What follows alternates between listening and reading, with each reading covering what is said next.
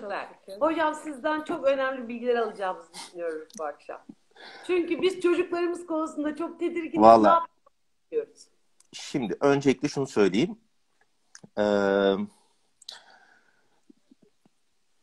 ben çocuk uzmanı değilim. Enfeksiyon hastalıkları uzmanı da değilim. Hani e, hani bu konuda en fazla söz söyleyebilecek iki branştan biri değilim. E, ama benzer şekilde e, sizin gibi çocukları için endişelenen bir akademisyenim. O yüzden bu konuda epey bir okudum sayılabilir. Evet, sizin bir de ikizleriniz var. Ee, evet, evet. Dünya yani hep mesela bu konudaki en büyük şey onlardan geliyor. Ee, bilgi gereksinimi. Çünkü kendilerini okula gönderip göndermemek konusunda oldukça fazla düşündük. Hani eşimle. Ben de epey bir okumak zorunda kaldım bu arada. Ee, ve sonuçta ona göre kararımızı verdik. Neyse şimdi kararımızın ne olduğunu da paylaşırım biraz sonra. Ondan sonra evet durum bu. Evet hocam. Peki e, hocam öncelikle şunu sormak istiyorum ben. Şu anki hasta sayılarında e, çocuk oranı nedir? Ee, şimdi açıkçası Türkiye için bilmiyorum. Ee, çünkü e, hani bunu herhalde kimse bilmiyor Sağlık Bakanlığı dışında. Ee, bu anlamda açıklanan ya da benim ulaşabildiğim net bir şey yok, net bir veri yok. Ama dünyada yapılan çalışmalarda işte %1.7'den %15'e kadar rakamlar var. Yani tüm COVID-19 hastalarının işte bir yayına göre %1.7'si. İşte İngiltere'de son zamanlarda arttığı söyleniyor. %12 ile 15'e kadar çıktığını tüm COVID hastalarında. Ee, tabii bunda şöyle bir şey de etken olabilir. Ağırlıklı olarak şimdi salgının, pandeminin başlangıcına göre, salgının başlangıcına göre risk grupları ağırlıklı olarak kendilerini çok daha iyi korumaya başladılar. Bu nedenle normalde daha düşük riskte sayılabilecek hasta oranları artıyor. Mesela benim bile bildiğim kadarıyla Türkiye'deki en büyük yığılım e, sanırım 30-50 yaş arasında ya da 20-50 yaş arasında. Hani en fazla hasta sayısı orada. Evet. E, ama hani bunun en önemli nedeni 60-65 yaş üstünün yani 65 yaş üstünün özellikle salgının başından beri kendini çok iyi koruyor olması e, bence. Ama hani şunu söylemek lazım. Şimdi e, bir psikiyatrist hocamızı dinledim ben e, geçen gün salgınla ilgili olarak. Beni çok etkileyen bir şey söyledi. E, biz dedi yanlış bir şekilde haber veriyoruz. E, haberlerimizi yanlış bir şekilde organize ediyoruz dedi. Mesela 65 yaş üstünden şu kadar öldü dediğimiz zaman sanki sadece 65 yaş üstündekiler risk altındaymış, diğerleri değilmiş gibi algılıyoruz. Oysa haberlerimizi ağırlıklı olarak bulaş yolu üzerinden vermeliyiz. Mesela düğüne gidenlerden şu kadar kişi öldü. İşte taziyeye gidenlerden bu kadar kişi öldü. İşte AVM'ye gidenlerden, maske takmayanlardan, işte tabii bunları elde etmek çok zor ama bence de çok işlevsel bir şey bu. Şunun için söyledim bunu. Bu hastalık her yaş grubunda görülebilir. Ee, yeni doğanından yani bir yaş altındaki çocuktan e, 80-90 yaşındaki insanlara kadar. Her yaş grubunda görülebilir. Her yaş grubunda çok ciddi seyredebilme potansiyeli var. Hani bunu önceden söylemek lazım mutlaka. Bu konuda diğer bilgilere geçmeden önce. Yani hepimiz risk altındayız. En küçüğümüzden en büyüğümüze kadar bu hastalık açısından hepimiz risk altındayız. Neden bu kadar önemli? Çünkü hala çok az şey biliyoruz. Bir tedavisi yok, bir aşısı yok. Ondan sonra hala çok az şey biliyoruz e, hastalıkla ilgili olarak. E, bu da tabii yani sadece aşısının ve e, tedavisinin olmaması bir yana kimde nasıl seyredeceğine ilişkin de çok az öngörümüz var. Belli risk grupları var. İşte kronik hastalığı olanlar, solunum yolu hastalığı olanlar, e, sigara içenler, e, ondan sonra e, işte belli yaş grupları vesaire falan ama bunlar tamamen gözleme dayalı belli bir e, şeyi tam olarak oluşturulamamış. Yani bu şu yüzden böyle oluyor diye tam olarak oluşturulamamış. O yüzden bilgimiz çok az ve sürekli değişiyor. Bugün söylediğimiz bir şey ya da iki ay önce söylenen bir şey bugün Aa, aslında o öyle değilmiş denilebiliyor. Ee, o yüzden bir yandan da büyük bir bilinmez. Bu mümkün olduğu kadar hepimiz en küçüğümüzden en büyüğümüze kadar kendimizi mümkün olduğunca korumalıyız. Bu hastalık, bu virüsle eninde sonunda karşılaşacağız muhtemelen hepimiz. Evet. Ne kadar geç karşılaşırsak o kadar iyi. Hani e, sonuçta. O yüzden hep söylenen ve gerçekten şey çok önemli. Yani en önemli koruyucu maske takmak, fizik ben de sosyal mesafe kelimesinden çok hoşlanmıyorum. Fiziksel mesafe demek daha doğru geliyor bana. Ee, fiziksel mesafeye dikkat etmek ve el temizliğine, elimizi yüzümüze götürmemeye e, dikkat etmek. En önemli şeyler bunlar. Evet. Peki e, çocuklardaki yakınmalarla, bulgularla yetişkinlerdekiler aynı mı oluyor? Ee, çocuklarda yüksek ateş, boğaz ağrısı, burun akıntısı, ishal, e, tat ve koku kaybı. Hani tat ve koku kaybı neredeyse artık virüse özgü bir özellik gibi oldu. Hani bir insanda tat ve koku kaybı varsa hani neredeyse çok büyük olasılıkla ona Covid diyebiliyoruz. Covid-19 diyebiliyoruz. E, ondan sonra çocuklarda ateş birazcık daha ön planda. Erişkinlerde artık o kadar değil. E, çok daha başka belirtilerle de kendini gösterebiliyor. Ama çocukta da şu işte karın ağrısı, yüksek ateşle birlikte baş ağrısı, özel bir şeye ah bu işte Covid demek tat ve koku kaybı dışında çok mümkün değil. Çocuklarda nasıl çözeceğiz? Konuşamayan çocuklar var. Burada ifade edemeyecek çocuklar var. Başım ağrıyor diyemez. Tadını almıyorum diyemez. Tabii. Ne yapacak Şimdi... yani? Sütün tadını almıyorum. Anne mi diyecek? Ne diyecek? ee, yani e, aslında diyebilir. Ee, yani tabii şeye Ağlayarak. göre. Ee, hayır hayır. Yani çocuk zaten her tür huzursuzluğunu öyle belli eder de. Şimdi çocuklar için şöyle bir şansımız var. Ee, çok büyük oranda çocuklar asemptomatik geçiriyorlar. Yani herhangi bir bulgu vermeden geçiriyorlar e, hastalığı. Küçük bir kısmı bulgu veriyor. Bu bulgu verenlerden bir kısmının hastaneye yatması gerekiyor hastaneye yattıktan sonra artık yoğun bakım gereksinimi ve şey riski erişkinlerle eşitleniyor. Yani çocuk hastalarda hastanede olduklarında erişkinler kadar yoğun bakım gereksinimine e, gereksinimi duyabiliyorlar. E, çok sık olmamakla birlikte nadiren ne yazık ki kaybedebiliyoruz. Çocuk hastaları kaybedilebiliyorlar. E, ama e, çocuklar için hastalığı ciddi geçirme riski daha düşük diyebiliriz. Bu akciğerle ilgili yani akciğerlerin daha çok temiz olmasından kaynaklanan bir sebepten dolayı mı tam bilemediğim için soruyorum. Şöyle bu konuda bir şeyi düzeltmek lazım. Şimdi benim okuduğum yayınlarda bir yaş altındaki çocukların da ciddi şekilde korunmaya gereksinimi olduğu, hani onların da hastalığı ağır geçirebildikleri e, söyleniyor.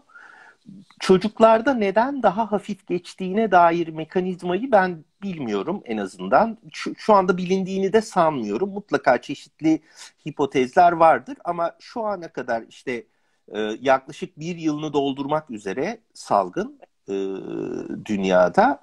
E, bu bir yılda toplanan veriler ışığında çocukların daha düşük riskte olduğunu söyleyebiliriz. Ama bu yani tekrar söylüyorum çocuklar hastalanmaz, hastaneye yatmazlar ya da yoğun bakım gereksinimi duymazlar demek değil asla. Bu, bunlar olabilir tabii ki. Evet, evet ciddiye almak lazım. Maske. Peki maske için ne düşünüyorsunuz? Ne yapmalı? Kaç yaşında kullanmalı? Şimdi Hangi maskeyi kullanmalı? Evet. E, şimdi şöyle e, önerilen maske kullanımı cerrahi maske. Yani e, normal tek kullanımlık e, maskelerin kullanması öneriliyor. 2 yaş altındaki çocukların maske kullanması önerilmiyor. Yani bunu ben e, Türkiye'deki bir hocamızdan da duydum. Benim dönem arkadaşı olan bir hocamızdan da duydum bunu. Hani o özellikle bunu vurguladı. 2 yaş altındaki çocuklarda maske kullanımı önerilmiyor. Ee, şimdi 2 yaşından sonra işler karışık. Bu konuda bütün ülkelerin farklı uygulamaları var. Ee, ama ben mesela Avrupa ülkelerinde epey bir araştırdım hani ne öneriyorlar diye. Bu konudaki şeyler oldukça muğlak. Hep çocuklar ile ilgili çok fazla verinin olmadığı söyleniyor bütün önerilerde. Bir tek bu konuda Hollanda'nın net bir önerisi var. Ee, bana da e, yani e, gördüğüm tek net öneri o. Bu bana da kabul edilebilir görüyor. Onlar şunu öneriyorlar 12 yaş altındaki çocukların kendi aralarında ya da erişkinlerle temasında maske kullanmasına gerek olmadığını söylüyor Hollandalılar. 12-18 yaş arasındaki çocukların kendi aralarında maske kullanımına gerek olmadığını ama erişkinlerle temaslarında maske kullanmaları gerektiğini söylüyorlar. 18 yaş üstünün ise erişkin gibi davranması gerektiğini söylüyorlar. Hani onların e, ol, bir oldukça e, saygın bir devlet kurumu var bu konuda kanıt toplayan. Ben onun sitesinden edindim bu bilgiyi. E, ama onun dışında mesela Avrupa'nın çeşitli ülkelerinde ne olursa olsun mutlaka maske kullanılıyor. Amerika rehberlerine ba- bakıldığında hiçbir yaş ayrımı olmaksızın maske kullanımı öneriliyor. Ee, ama tabii çocuklarda maske uyumunu sağlayabilmek çok kolay değil. Ee, çocuğun birazcık daha büyük olması lazım o uyumu sağlayabilmek için. Ee, bu konuda da kafalar karışık. Hani benim Şimdi biz çok... bir şey duyduk geçenlerde. Bir evet. anaokulunda çocuklar ay senin masken ne kadar güzel deyip birbirleriyle maske değiş tokuşu yapıyorlar.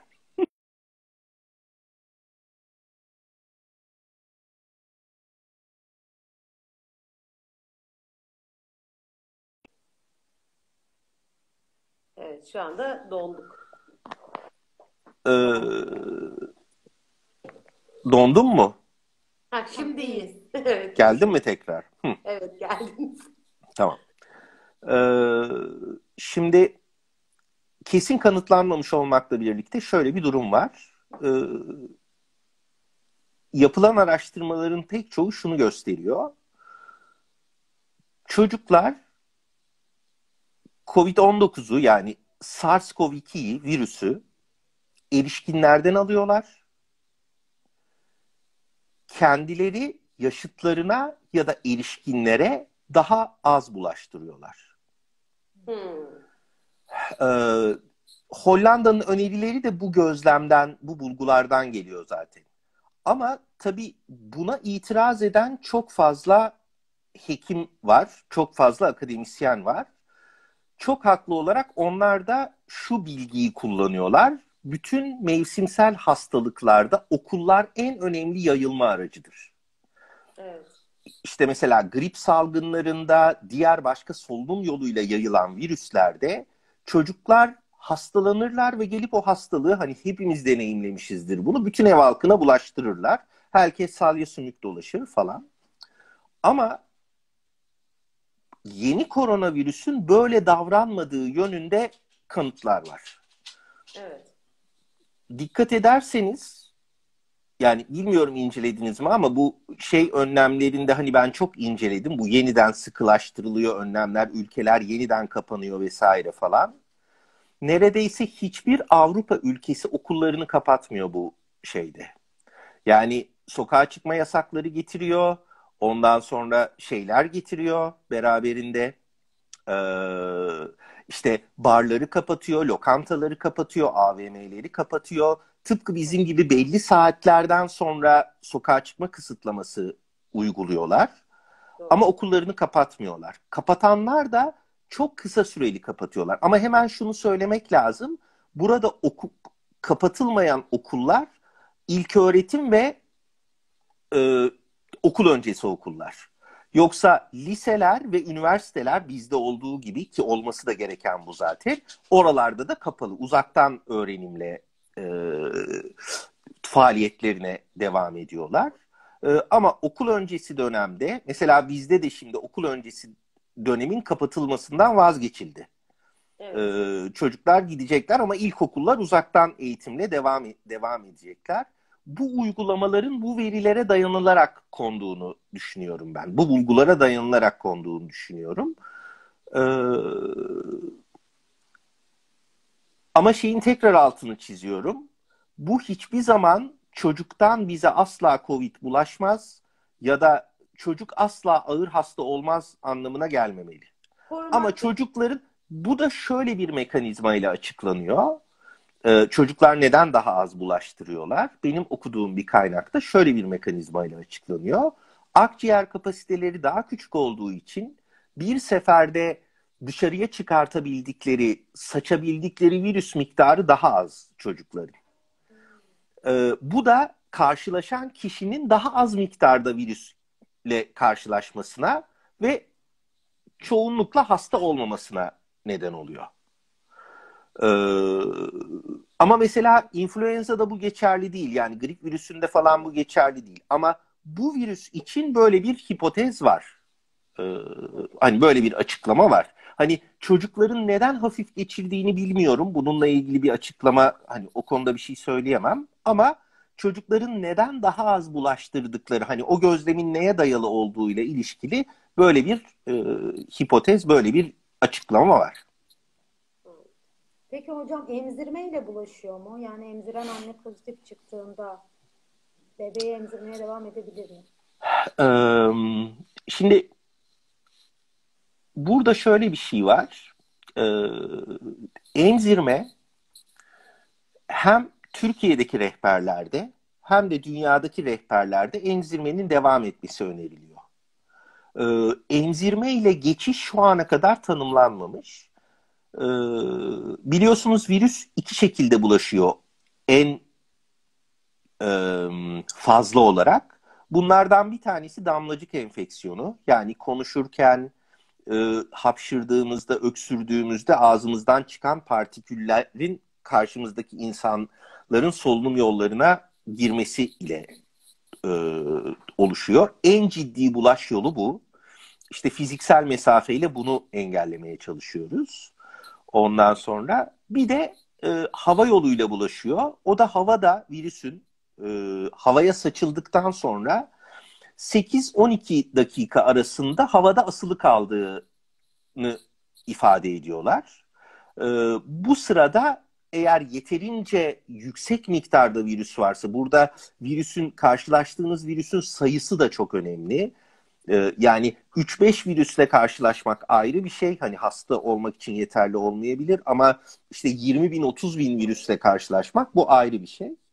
Ondan sonra ikinci yayılım yolu bu hava yoluyla. Mesela klimalar bu konudaki en ciddi katiller e, şey açısından. E, çünkü o aynı ortamın havasını kullandıkları için mesela otobüslerde, uçaklarda, hoş uçaklarda işte HEPA filtreleri var, güvenli falan diyorlar ama e, tabii o filtrelerin yeterince temizlendiği vesaire falan durumlarda. Yani bunu bilemeyiz, emin olamayız bundan tabii ki. Ondan sonra e, bu bu şekilde virüs bulaşabiliyor. E, bunun dışında emzirme yoluyla ya da gebe olan anneden çocuğa geçiş gösterilmemiş.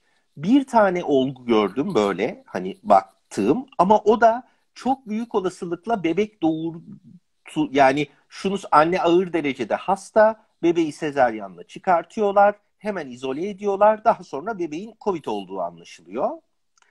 Ee, ama bunun dışında yapılan bütün hiçbir çalışmada anneden bebeğe geçiş gösterilmemiş.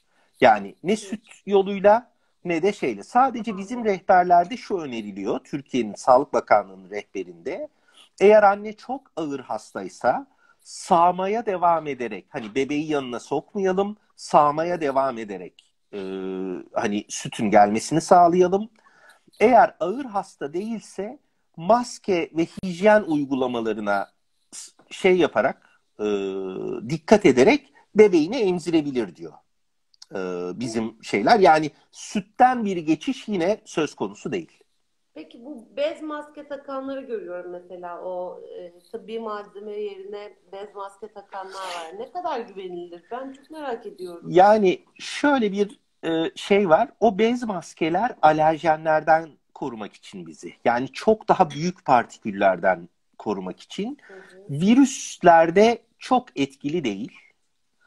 E, yani bu birazcık şey gibi. İşte burnu açık dolaşmak, maskeyi çenede tutmak e, gibi. Bir de bir başka vurgulamak istediğim bir şey var. Bu e, N95 denilen maskeler var. Çok daha ciddi oranda koruyucu olan Evet. sağlık personelinin ancak böyle e, partikül üreten işlem deniyor ona. Yani işte ciddi bir girişim falan yaparken kullanmasının önerildiği ya da laboratuvarlarda kullanmasının önerildiği.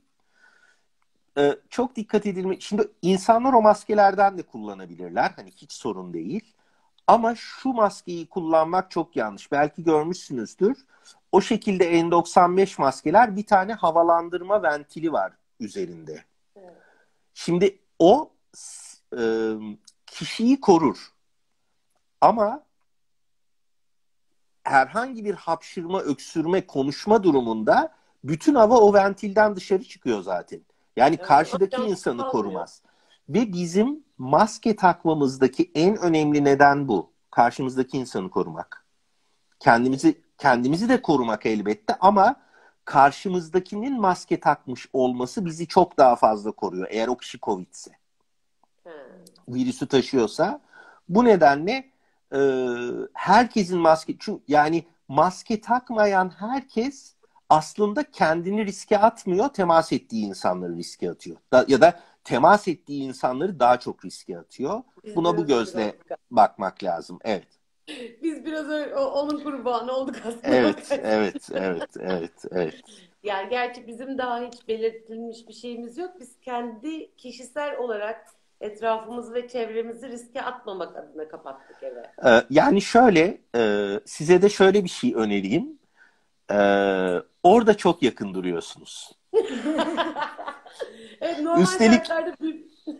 Üstelik bu kadar kahkahanın atıldığı, bu kadar gülünen bir yerde e, birbirinizi ciddi tehlikeye atıyorsunuz. Yani bunu yine aynı derecede gülerek ama ayrı odalardan yapsanız ikiniz de çok daha güvende olursunuz. Hani onu söyleyeyim Evet, öncelikle. galiba zaten bulaş, birbirimize bulaştırdığımız kesin zaten eğer varsa.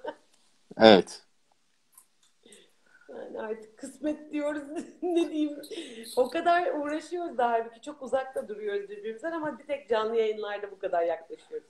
Ee, ya şimdi şöyle bir şey var. Toplam temas sayımız ne kadar az ise e, elbette ki kendimizi ve karşımızdaki insanları o kadar az riske atıyoruz. Mesela evimizde maske takmıyoruz mesela. Hani böyle bir şey önerilmiyor. Özel olarak hasta olduğumuzu ya da virüsü taşıdığımızı bilmiyorsak eğer e, evimizde maske takmıyoruz. E, ama sosyalleştiğimiz her an bizim için bir risk. Ee, bu nedenle özellikle bu kadar yakın e, çalışan insanların ya ciddi şekilde maske takmaları ya da mesela böyle bir yayını ayrı e, odalardan e, yine kendi telefonları aracılığıyla hani şurada üç pencere oluversin hani hiçbir şey olmaz. Ondan sonra hani o şekilde yapmalarında fayda var. Evet, evet, evet. Şimdi hocam bir sorumuz daha var. Sonra Buyurun. Bitirdik mi Evet. sorularımızı? Evet. Aa bitirmişiz. Sizin eklemek istedikleriniz var mı? Eee, ben birkaç şey ekleyeyim. Şeyi tekrarlıyorum. Yani çok ciddi bir durum bu. Ve bu durumla bir süre daha yaşamak zorunda kalacağız gibi görünüyor. Ne kadar Ee, sizce? Yani en azından bir önümüzdeki bir yılı gözden çıkarmalıyız. Eee,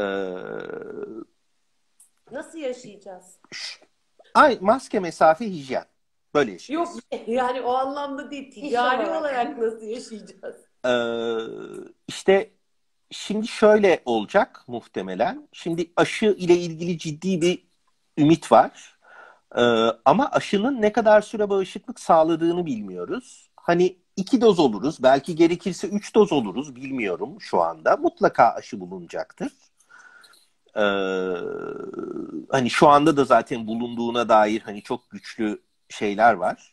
Ee, çok güçlü e, işte yüzde 95 koruyuculuktan yüzde 92 koruyuculuktan falan bahsediyor işte Rusya'nın ya da bu Pfizer ve BioNTech'in e, aşılarında. E, ama her bir aşının iki doz yapılması gereğinden yola çıkarsak dünya çapında 12-13 milyarlık bir dozluk aşı talebi var. Bu talebin kısa sürede karşılanması imkansız. Belli gruplar seçilerek aşılanacak mutlaka önce. Ee, mesela şöyle bir şey düşünülüyor. Tabii ben bu işin uzmanı değilim hani onu tekrar söyleyeyim de bu bir tartışmada bir şey sırasında duyduğum bir şey. Mesela önce 20-40 yaş arasının aşılanacağı çünkü virüsü onların en hızlı yaydığı e, söyleniyor. Hani o yayılma şeyini kırabilmek için. E, bir tedaviye henüz çok uzağız. Evet. Ee, Tedavi yok. Evet, evet. Yani tedaviyle ilgili neredeyse hiçbir ümit yok şu anda. Yani kullandığımız her şey e, ciddi oranda e, hani hadi bu da işe yararsa mantığına mantığıyla yapıyoruz. Kullan, kullan yapılıyor kullanılan bütün ilaçlar. O yüzden yapabileceğimiz en önemli şey kendimizi korumak ve çevremizi korumak. Evet. Ee, Hocam yüzünüzü görelim. Acık. bir dakika şimdi şimdi ben Kamera tabii bu geliyor.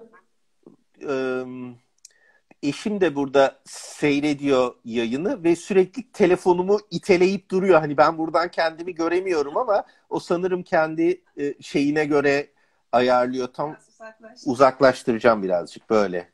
Hah, uzaklaşınca. Tam böyle Şimdi daha mı iyi? Tam şeyin Evet. en sonunda artık e, yayının sonunda doğru uzaklık ve konumu bulduk. Bir daha Instagram yayını yaparsak daha deneyimli olacağım bu Bu, konuda. bir- bu, bu size de bize de tecrübe. Ee, evet, evet, evet, evet, evet. Şurada bazı not... Ha, e, şeyi söyleyeyim çocuklarla ilgili olarak yine ona da bakıp not almıştım.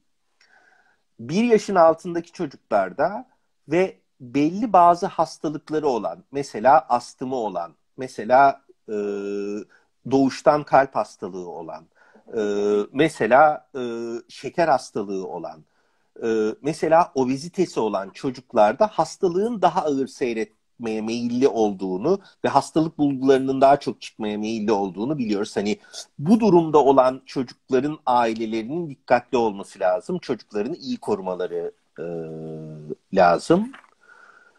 E, evet benim de sanırım şeyle ilgili söyleyeceklerim bu kadar. Tek bir soru Evet, sormak istiyorum. buyurun. Şimdi benim yeğenim mesela 7 yaşında, Evet. e, 6,5 yaşında ama çok alerjik. Her şeye alerjisi var. Yani tozdan tut da toprağa, çimene, havaya her şeye alerjisi var. hı hı hı. Alerjisi olan çocuklar bu durumda daha mı e, avantajlı yoksa daha mı dezavantajlı? Ee, Bir ara şey duymuştum ben böyle bir hani belki de uyduruk bir yerden de okumuş olabilirim. Böyle bir yerlerde görüyoruz ve aklımıza kalıyor sanki bilimselmiş gibi. Evet. Ee, hani alerjisi olanlar öksürmeyi bildikleri için bu işte Covid'i daha rahat atlatıyorlar falan diye bir şey duymuştum. Ama nereden duyduğumu sor ben hatırlamıyorum. Şöyle, ben de bunu bilmiyorum açıkçası. Yani astım alerjik olmaktan farklı bir şey. Evet, alerjik bir temeli de var astımın ama hani e, eğer solunum yolları ile ilgili alerjik bir durumunuz yoksa diyelim işte e, atıyorum işte polene alerjiniz var, işte e, ne bileyim e, might'lara alerjiniz var, bilmem ne falan gibi bir şeyse açıkçası bununla ilgili bir şey bilmiyorum. Ama her tür eşlik eden hastalığın COVID'in daha kötü seyretmesiyle ilgili bir risk oluşturması muhtemel. Ama dediğim gibi bu sorunun bir yanıtı yok. Yani yeğeniniz muhtemelen ciddi bir tehlike altında değil ya da ciddi bir dezavantajı yok. Ya avantajı yok pardon.